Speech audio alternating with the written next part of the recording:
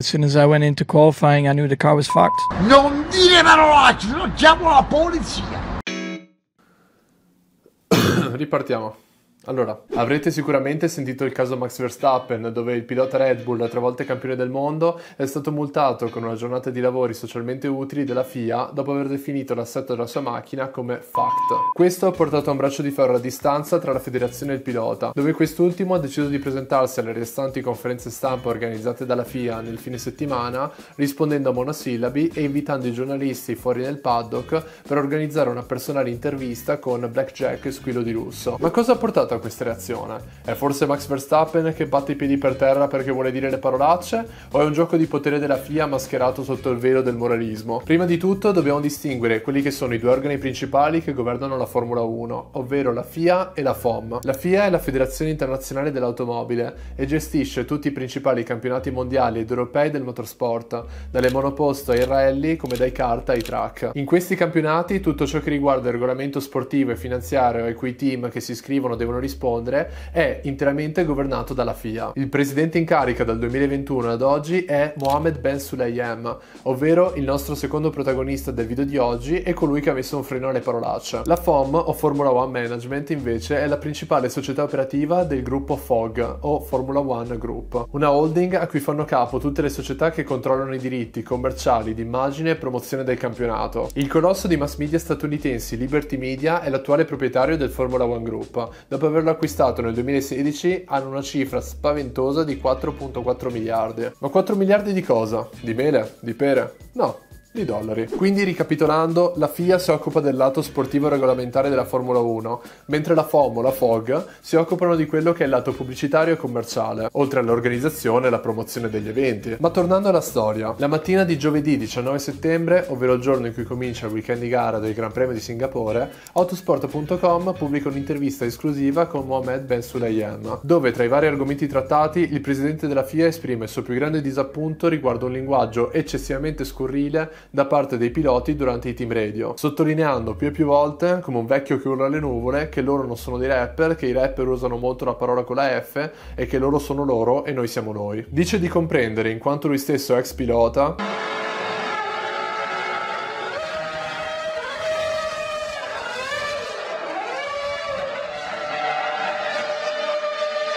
come l'adrenalina del momento possa influire sulla condotta di una persona, ma allo stesso tempo dovrebbero pensare ai bambini a casa. Piccolissimo dettaglio, i piloti sul loro volante non hanno il tasto Sky Sport con cui comunicare direttamente col pubblico a casa, loro comunicano solo ed esclusivamente con i loro ingegneri di gara, che poi questi audio vengono presi Uh, censurati perché non vengono trasmessi in diretta e trasmessi successivamente in televisione è opera della FOM. Il giornalista allora interviene chiedendo se la FIA abbia il potere di intervenire su una cosa del genere, non facendo parte del regolamento sportivo della competizione. Al che Sunayem risponde possiamo e lo stiamo già facendo. Al che ti dico stai calmo. Ma continua dicendo che sono stati loro in principio ad approvare la messa in onda dei team radio. E mi pareva strano perché mi sembrava giusto di ricordare una cosa come 3-4 mila video tra YouTube, TikTok e Reels, dove è stato ripostato quelli che sono gli sfoghi conditi di parolacce di Raikkonen, Tsunoda o addirittura di Montoya che povera bestia non corre da vent'anni. Ma sappiamo appunto che questo è business e a vederlo da fuori sembra che alla Formula 1 piaccia davvero molto questo business, dato che è diventato uno dei format più apprezzati anche dai loro follower sui social. Tuttavia queste dichiarazioni presagiscono un dietrofront, con una richiesta formale inoltrata dalla FIA nei confronti della FOM di limitare la messa in onda di qualsiasi materiale contenente linguaggio scurrile. Poche ore dopo avviene la tradizionale conferenza stampa del giovedì dove i piloti, a piccoli gruppi di 3-4 persone, vengono invitati all'interno di un salottino insieme ai giornalisti e al moderatore ufficiale della Formula 1 Tom Clarkson, il quale prima li scalda con qualche domanda di circostanza per poi lasciare spazio ai giornalisti accreditati. Uno di questi chiede a Max la causa della sua scarsa performance a Baku rispetto al compagno di squadra Checo Perez. L'olandese risponde che avevano montato due setup diversi sulle macchine, ma che dal momento in cui è entrato in qualifica ha sentito subito che l'assetto della sua era appunto fact. Sul momento il pilota è stato leggermente invitato dal moderatore Tom Clarkson a moderare il linguaggio per il resto dell'intervista, ma è finito tutto là. Questo fino a quando un altro giornalista ha chiesto a Max cosa pensasse dell'intervento di Ben Sulayem e Max non ha avuto remore al riguardo dicendo che questo non l'avrebbe fermato dall'imprecare. Io lo direi con un po' meno d'orgoglio, no? Perché è una cosa che fanno tutti, se non in quella stanza fuori, ma che non lo considera come cattiva condotta. Crimine di cui poi è stato imputato e multato dagli steward e che Ben Sulayem aveva rimaneggiato la sua definizione durante il summer break, in modo tale, dice lui, da evitare quello che è un abuso troppo forte nei confronti degli steward e che questo sarebbe direttamente correlato all'abuso nei social, che vedono i piloti farlo e anche gli utenti si sentono permessi a farlo. Ho detto un po' troppe volte farlo. Nel documento ufficiale che incrimina Verstappen c'è anche un precedente, ovvero quello di Las Vegas 2023, dove i team principal di Ferrari e Mercedes, Frederick Vasseur e Toto Wolff, durante una conferenza stampa avrebbero usato anche loro la parola con la F. E ci tengo a precisare che erano due separate occasioni, non è che avevano imbastito una gara di rutti e bestemmia. Tuttavia al tempo erano stati avvisati che se un comportamento del genere fosse stato ripetuto sarebbero stati multati. Altro caso invece dove la condanna è avvenuta è al Gran Premio di Austria di quest'anno dove il pilota V-Carb Tsunoda è stato multato di 40.000 dollari per aver definito il garage della Sauber come dei ritardati. こっちだ薄のろ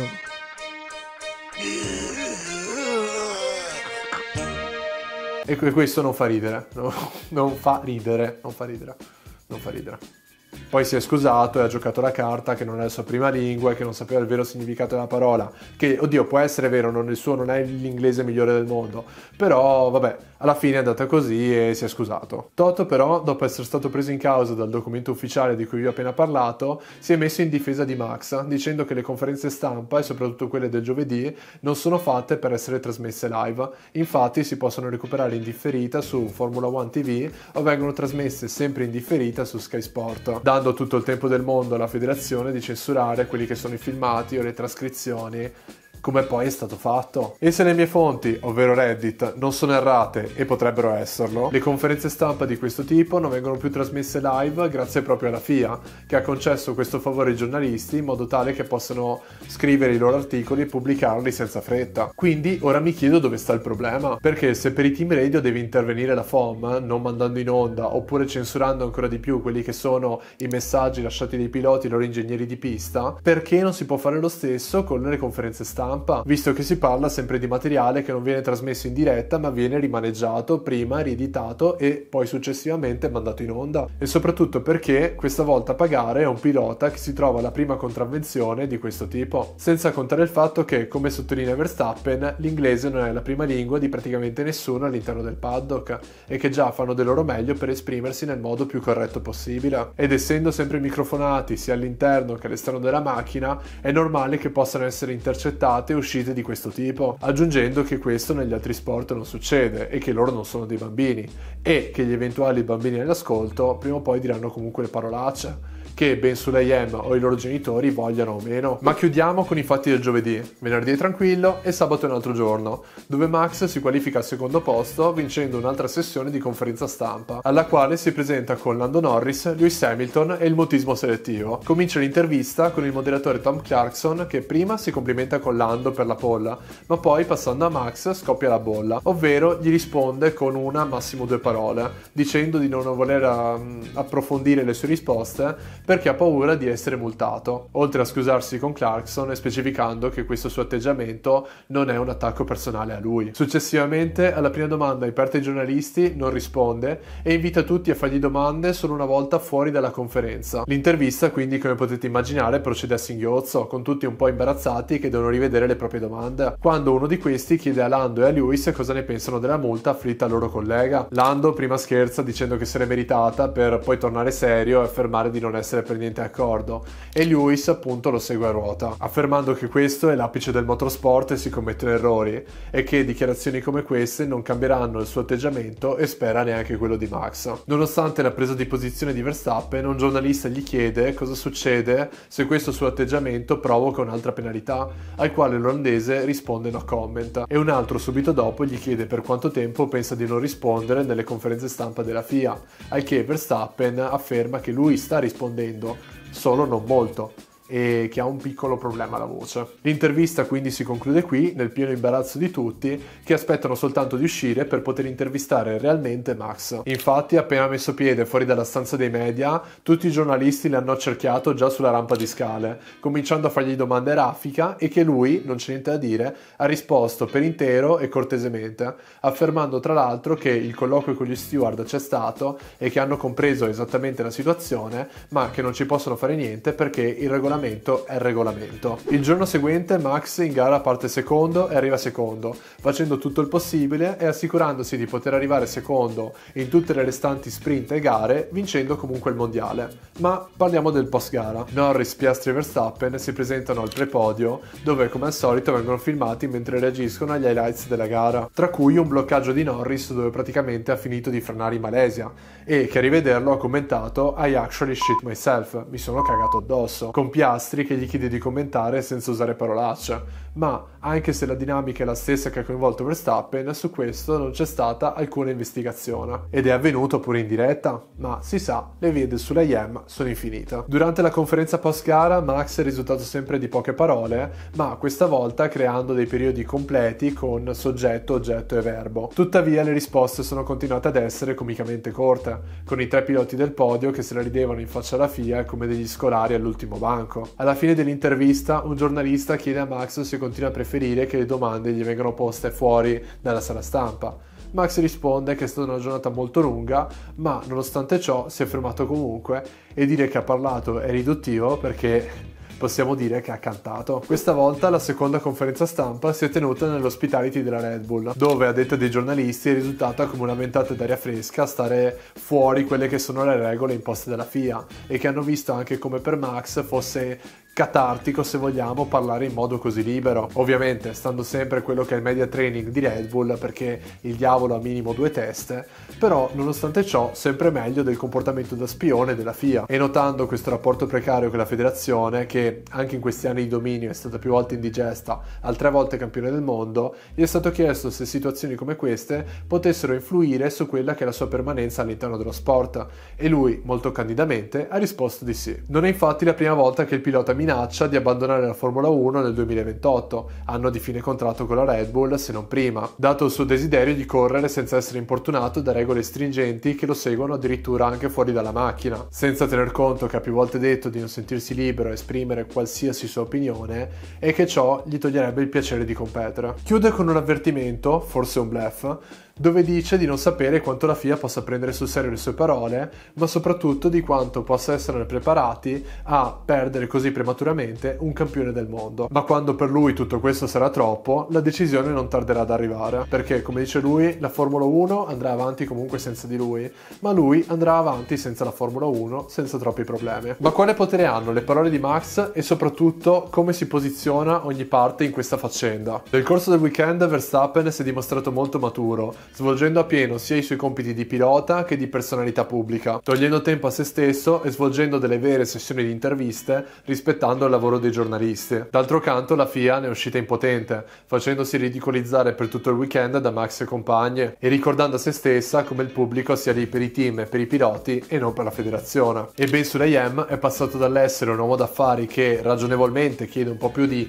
professionalità nell'ambiente di lavoro al supplente che non riesce a farsi rispettare dagli alunni, soprattutto quando lui è stato il primo a non rispettare loro. Il presidente non è infatti nuovo alla creazione di leggi o munizioni ad personam. Prima di Verstappen è stato Hamilton nel 2022, quando Surayem all'inizio della stagione aveva imposto un veto ai piloti di non indossare piercing o gioielli all'interno della macchina per questioni di sicurezza. Regola introdotta nel 2005 ma mai sostanzialmente applicata, a parte adesso quando Lewis è l'unico a farlo. Ma perché applicare una regola 17 anni dopo e che va ad influire solo un singolo pilota? Sarà forse perché sia Lewis che la Mercedes si sono mostrati molto in disaccordo con la FIA per come è finito il campionato 2021, tanto da non presentarsi al gala mandatorio di fine anno. O Vettel, quando negli ultimi anni della sua carriera si è mosso per varie cause sia sociali che politiche, con Ben Sulayem che ha più volte criticato e scoraggiato i piloti da fare ciò, cercando addirittura di demascolinizzare Sebastian, paragonando lui e la sua bicicletta arcobaleno ai veri campioni del passato come Lauda e Prost a cui interessava solo correre. Però dice di non imporre i suoi ideali, eh, no, no, Quando mai? Più recentemente è stato accusato da un whistleblower di aver manipolato il risultato del Gran Premio di Arabia Saudita del 2023, quando Fernando Alonso ha momentaneamente perso il terzo posto a causa di una penalità. Sulayem avrebbe comunicato a fine gara con lo sceicco, aspettate un attimo, Abdullah bin Hamas bis Isa al-Jalifa, chiedo scusa per la pronuncia totalmente assente, che ricopre la posizione di vicepresidente della delegazione FIA in Medio Oriente e Nord Africa e che caso vuole fosse uno steward il giorno del Gran Premio, ordinandogli di rimuovere la penalità ad Alonso. Eh ma Simon, questa non è persecuzione, anzi avrebbe addirittura aiutato il pilota. Mm. Ma ne siamo sicuri? Voleva forse Alonso sul podio o un Aston Martin con tetto sponsor Aramco? Che per chi non lo sapesse è la principale società di idrocarburi in Arabia Saudita, nel Gran Premio di Arabia Saudita. Ma tutte queste sono ancora accuse sotto investigazione ed io, essendo nato garantista, giudico Ben Sulayem innocente fino a prova contraria. Da questa situazione l'altro grande sconfitto è Liberty Media, che si è trovata in mezzo a questi due fuochi, trattandolo come se fosse uno scoop per andare avanti con la programmazione, ma dimostrando come non ci possa essere un altro weekend di questo tipo. Perché se i piloti decidono di unirsi e fare muro con la federazione, non si presenteranno più a nessuna attività di promozione, pubblicità o interazione interazione con i fan e questo andrebbe chiaramente a svalutare quello che è il prodotto della Formula 1. Questo sia per i telespettatori che non sarebbero molto interessati a seguire il gioco del silenzio nei giorni che precedono la gara, ma anche per le persone che effettivamente vanno al Gran Premio e che non avrebbero assicurato la presenza dei piloti in nessuna delle attività fanservice organizzate dalla FIA